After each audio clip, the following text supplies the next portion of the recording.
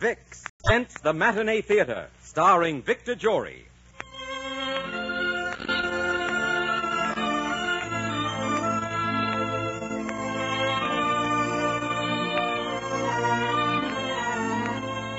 Vicks, the makers of Vicks Vapor Rub, Vicks Vatronol, Vicks Cough Drops, and Vicks Inhaler, brings you the Matinee Theater production of Elizabeth the Queen, starring Victor Jory as Lord Essex and featuring Judith Evelyn as Queen Elizabeth. Miss Evelyn is the winner of the award for the finest performance of the year as the star of Angel Street. You know, more and more millions of people are using Vicks Vatronol nose drops to relieve distress of head colds. Benefit by their experience.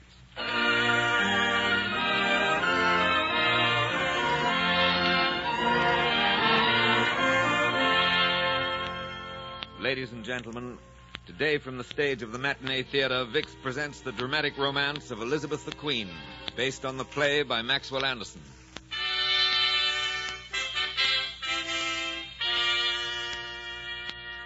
Lord Essex has just returned from a war mission. As he strides down the corridor of the royal palace towards the throne room, he meets an old rival and enemy, Sir Walter Raleigh, splendidly attired in a suit of silver armor. well, well, Sir Walter Raleigh. I've had news of your latest fashion and dress, but you're even more splendid than I had imagined. Be careful, Essex. I don't take kindly to insults. Sir Walter's in silver. The world's outdone, the moon's outmooned. He gleams down every passageway, and every head's turned after him. I've borne much from you in the past, out of respect to the Queen, my Lord of Essex. But I warn you, I'll not bear much more. Well, if you wish to go about dressed as a dandy for a queen while other men are out fighting for her, then you must expect a few insults. You call that child's play you've been indulging in, fighting? Perhaps you'd like a taste of my sword yourself, Sir Walter. I'll gladly give you a taste of mine any hour that you care to name, my Lord of Essex. Odds blood, but you're an impudent puppy. I've Her never. Majesty is asking for you, Sir Walter. Ah, thank you, Mr. Bacon. We'll continue this discussion later, Essex. You've only to name the time and place, Raleigh. Well, Essex, it's good to see you back at the palace. It's good to be back. Is. Is Her Majesty busy at the moment? I don't know how busy. She asked me to send Raleigh to her. Essex, you have enough on your hands without quarreling with Raleigh. You quarreled with the Queen against my judgment, and that's done you no good here at court. You're going to have to make a decision pretty fast, my friend. What's the decision? Whether to retain the favor of the Queen or the favor of the people. Your war records have be splendid, and you've caught the public's heart. That is your danger. The Queen cannot let you eclipse her, even if she loves you. I hope she loves me. Oh, Bacon, if she were my mother's kitchen hag, toothless and wooden legged, she'd still make all the other women colorless. I love her, I fear her, I hate her, I adore her, I worship. Indeed. Of whom are you speaking, Lord Essex? Why, of you, my queen. Indeed. Step into the throne room, Lord Essex. I should like to speak to you alone. Yes, Your Majesty.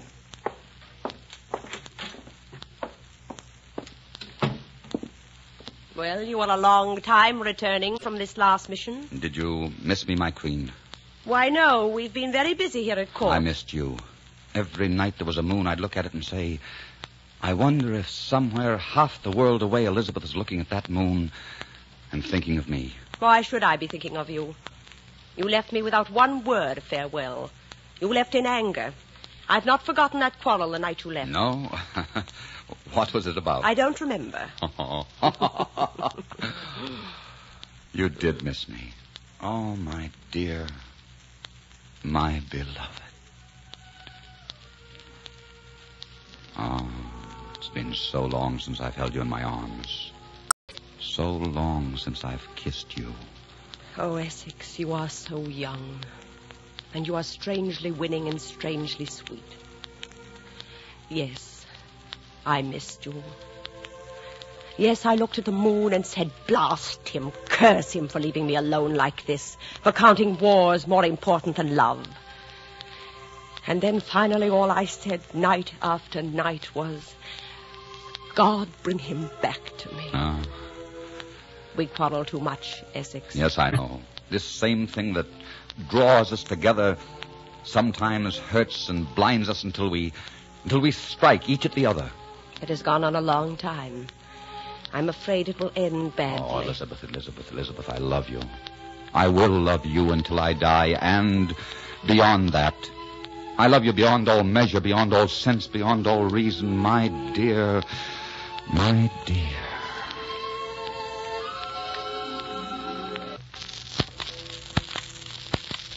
Chime. We must go to the council meeting. They will want to hear your report. I wish the clock had not struck just now. I wish this moment might have gone on a little longer. Before the meeting, let me ask you has there been any talk of the Irish problem, of Tyrone's rebellion? Yes. They must make a decision today. It's deadly serious, Elizabeth. This uprising is spreading north and south. We must get our armies in there and crush it, or, or we lose all hold. You will not volunteer to go, will you, my darling? You will stay at my side for a time now, won't you? I. Yes, I'll stay. But someone must go. We shall send someone else. You and I are growing older. We have only a little time left for life and for love. Yes, we shall send someone else to Ireland.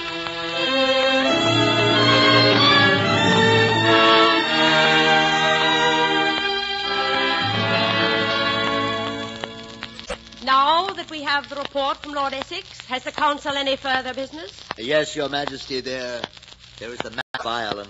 What do you recommend, Lord Burghley? We must move at once.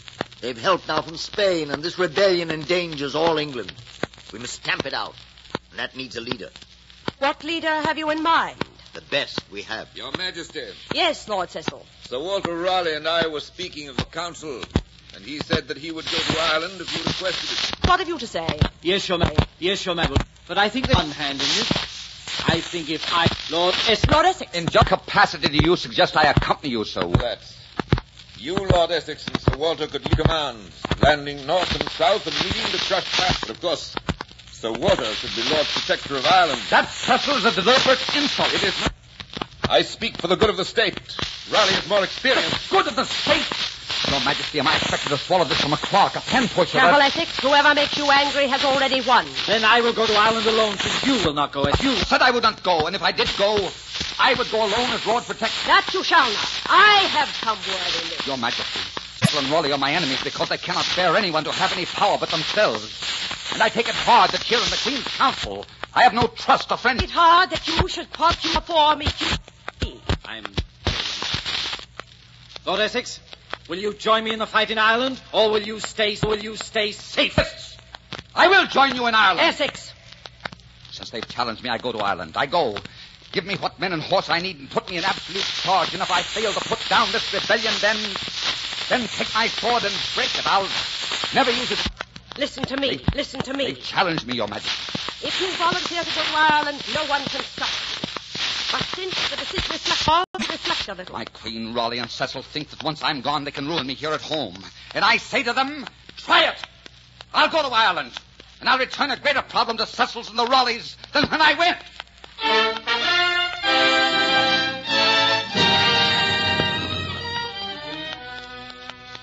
Well, my Queen, I am ready to leave for Ireland. My men are waiting at the gates. Oh, I wish you were not going.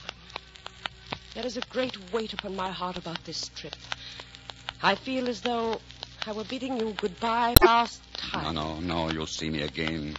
I'll come back with victory, my banners flying. I'm afraid. Oh, I am afraid. Do not, do not be afraid. Let not your forebodings trouble you. They mean nothing.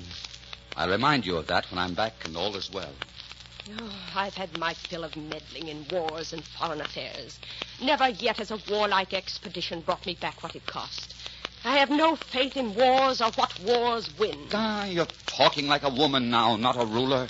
You think you would rule better, don't you, Essex? Yes, and that does not mean that I do not love you. Remember that. But I think you fail at times as a ruler because you cannot think and act like a man. Why should I act and think like a man? A woman's thinking is wiser, cooler, and kinder, Lord Essex. If you want my kingdom, it will be necessary to depose me to take it. Ah, you're a touchy queen, my beloved. Do not be angry if I like you better as a woman than a ruler. Let us not quarrel this time. Oh, Essex. Hold me close a moment. Hold me close. My heart keeps saying if he wins, that will divide us. And if he loses, that too will divide us. I will win, and it will not divide us. Is it so difficult to believe in me? I shall believe in you. I shall even forgive you if you need it. Here. My father gave me this ring and told me if ever he lost his temper with me, to bring it to him and he would forgive me. Here. Take it. Oh, beloved. If ever you are angry, rings will not help. Oh, this one would. I should think of you as you are now, and it would. Take it. I want no pledge from you, but I will take it and wear it so, so that you will be with me all the time that I'm away from you. Yeah, take it for a better reason. Take it lest you and I should wake some morning strangers and enemies in an alien world. Take my ring, my beloved. You are afraid you will not love me always? No. I am afraid that you will not love me and will not let me love you. Godspeed, my darling. Come safely home. Write to me and miss me in Ireland. I will write to you, and I will miss you. Goodbye, my queen.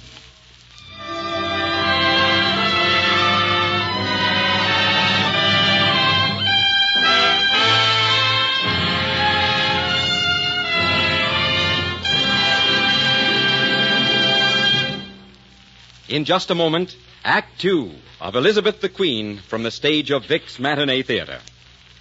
The more mothers you talk with nowadays about children's colds, the more this one significant fact stands out.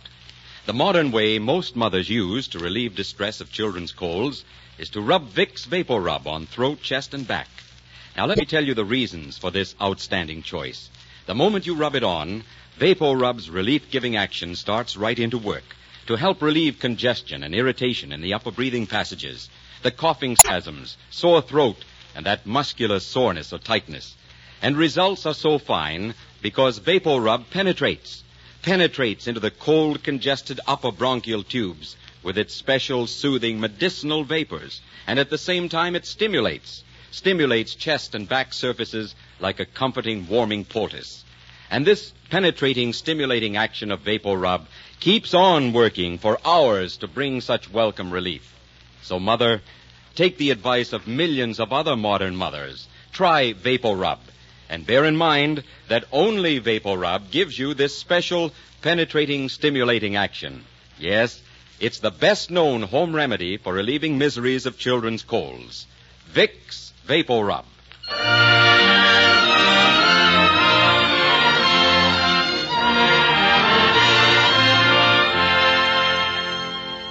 Now the second act of Elizabeth the Queen, starring Victor Jory as Lord Essex, with Judith Evelyn as Queen Elizabeth.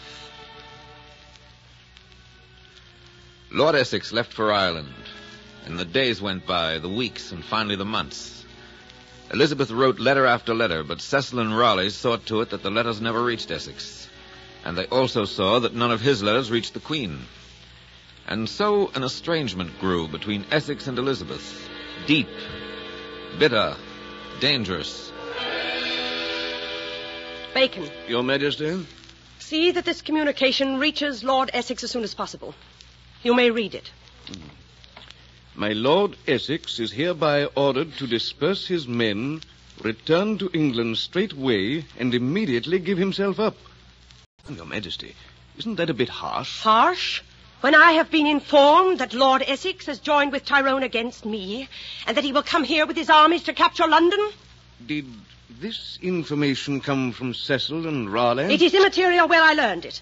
If things were not wrong between us, an answer to my letters would have been forthcoming. Send the dispatch, Mr. Bacon. Yes, Your Majesty.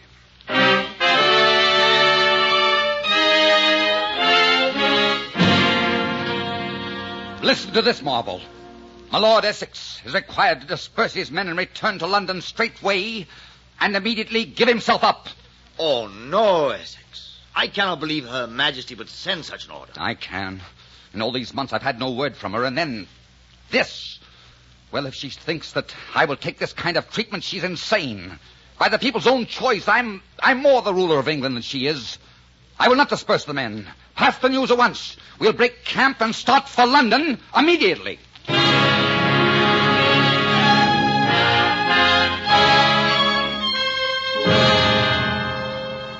I've come with my army, Elizabeth.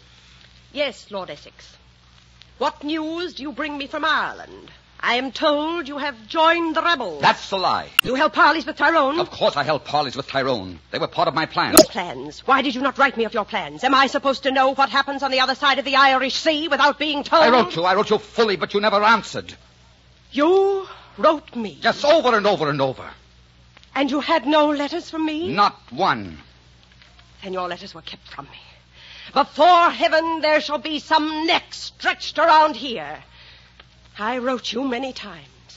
Oh, Essex, you should never have gone away. My dear, my dear, I've missed you. I've missed you so desperately. It's funny. How one person's arms can bring a woman peace and happiness. When your arms are about me, I feel safe and happy and content. And when you're gone, I feel lost, homeless, and friendless. Oh, Essex, it's a tragic thing to love so terribly. I thought, because I was older, that you'd met someone young in Ireland. Someone young and lovely. Elizabeth, listen to me. No young girl could please me after you. You've spoiled me for youth.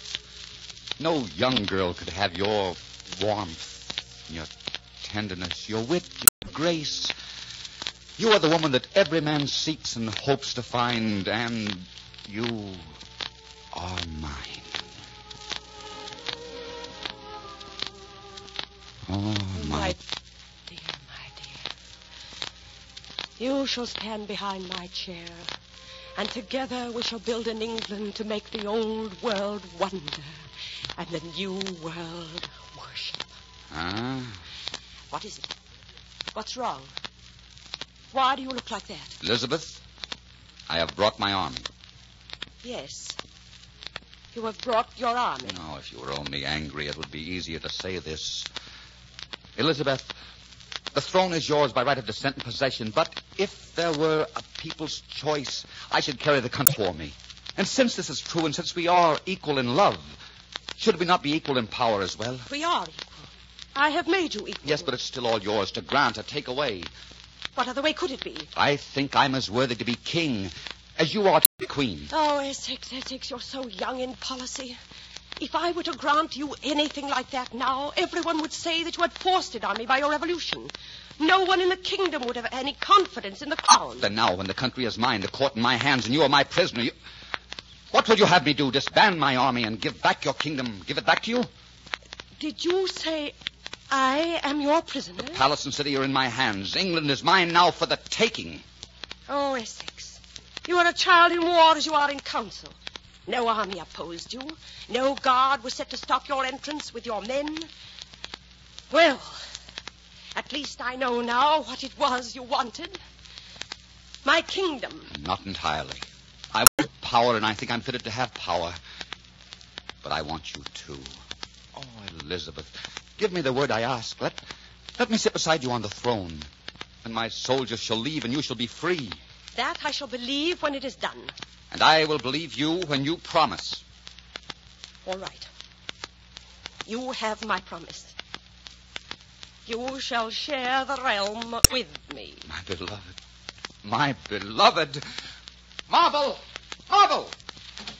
Yes, my lord. Carry out the orders of release. Dismiss my guard and return the palace into the Queen's hands. Release all prisoners and let the Queen's guard resume their stations. Yes, my lord.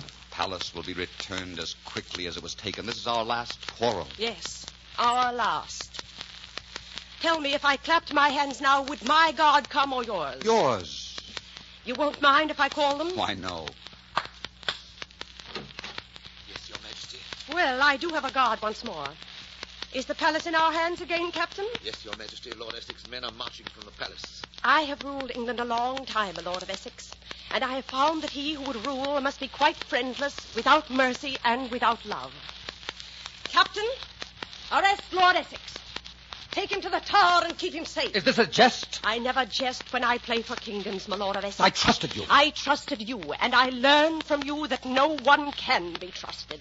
Arrest Lord Essex. Arrest him. In England, my Lord, we execute traitors.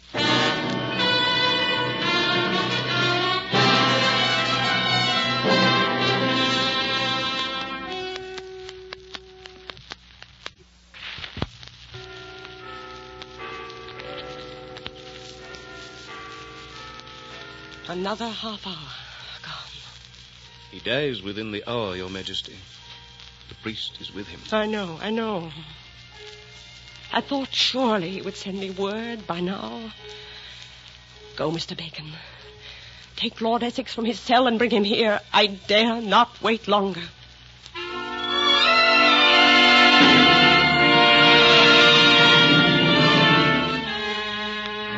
You sent for me? Yes, It would have been kinder to leave me with my thoughts until the axe came down and ended them. You must have known I never meant that you should die. Why not? I am guilty of treason, and treason is punishable by death. God knows I am proud and bitter too, with much cause. But I have sent for you. I have taken the first step. Do not make me take the next. The next is to the scaffold. Will you make me tell you first how much I've longed for you? It's hard for me. Oh, my dear, you can tell me with much more grace. For you have nothing to gain or lose, but I have a life to gain, and it doesn't seem quite fitting to speak to you as a lover. You might think I was doing it to save my head. This is an hour for truth. It's true that you never loved me, isn't it? You were ambitious and I loved you.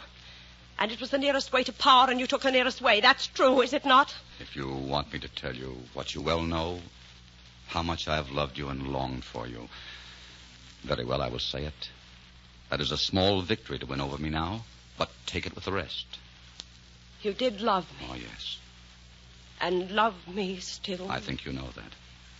You kept my ring. You never sent my ring. I've been waiting for it. You may have it back if you have use for it. I had thought to wear it to the grave, but take it. I would have forgiven all that had passed at any hour, day or night. I would now. You would pardon me, set me free, give back my estates, love me as before? Yes. And what would happen to your throne? My throne? Oh, yes, for I would take it from you. Again? You'd play that game again? The games one plays are not always the games one chooses. I'm I'm still popular, and there are mutterings over my imprisonment as it is. And if you set me free and confess your weakness by overlooking the treason, the storm that broke last time would be nothing to the storm that would break over you then. As for myself, I played for power and lost. But if I had another chance, I I think I would play and win. Why do you say this? I say it because it's true. I have loved you, love you now, but I know myself. I have a weakness for being first wherever I am. I refuse to take pardon from you without warning you of this. And knowing that, pardon becomes impossible. You are doing this for me? Why, yes, but not altogether. Partly for England, too. I have lost conceit of myself a little. Life in prison's very quiet, and it leads to thinking. You govern England better than I should. I would lead her into wars, make a great name, but leave a legacy of deaths and bloodshed after me. You will leave peace and happiness. Perhaps a woman governs better than a man. And now, if you'll pardon me, I have an appointment with the headsman. I must not keep him waiting. The time cannot go this way. Aye, but it has. There's no way out. Oh, my dear.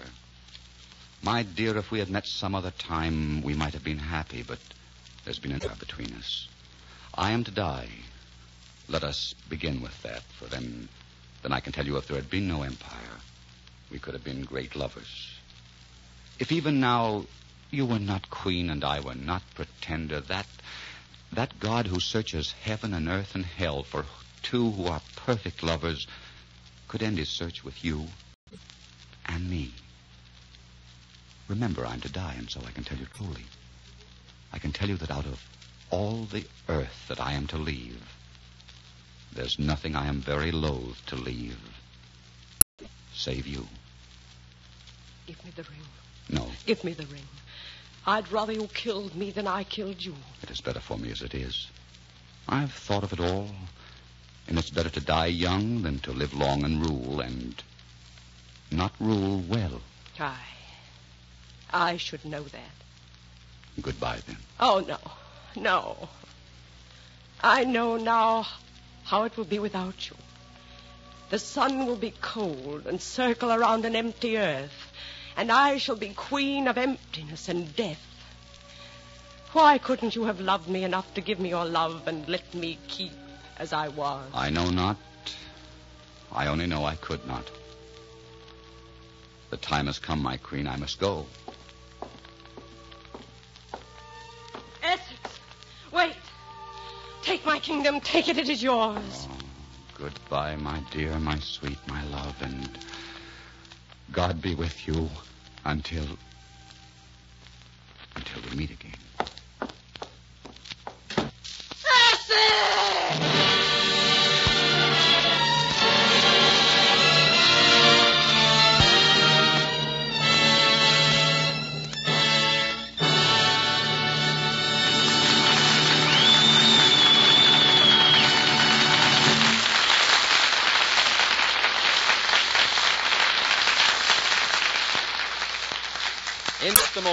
An important message from Victor Jory. You know, my friends, there are millions upon millions of mothers who have learned by experience to put their faith and confidence in Vicks Vapor Rub. Their trust is our most precious possession, and we would never violate it. We would never violate it by using any substitute for any one of the seven active ingredients that make Vapor Rub so effective. But to keep the faith and confidence of these millions of mothers has been no easy task. We have had to scour the world for the essential aromatics and medications that go into the making of Vapor Rub. And we are happy to tell you that there are no wartime substitutes in the Vapor Rub you buy. It is exactly the same Vapor Rub that has become the best known home remedy for relieving miseries of children's colds. And it doesn't cost you a penny more than it did before the war. It is the same time tested, home proved Vicks Vapor Rub.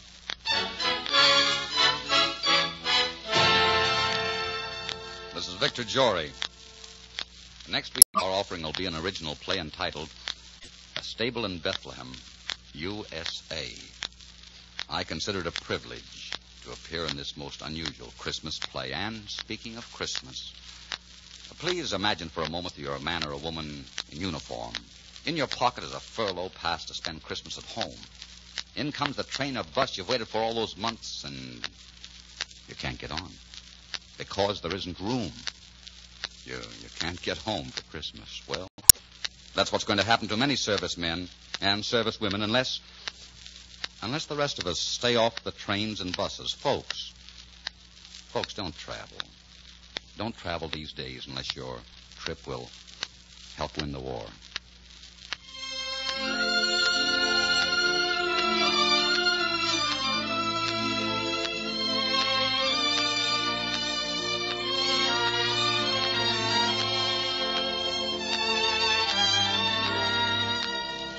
Today's story was adapted from Maxwell Anderson's play by Jean Holloway and directed by Richard Sanville.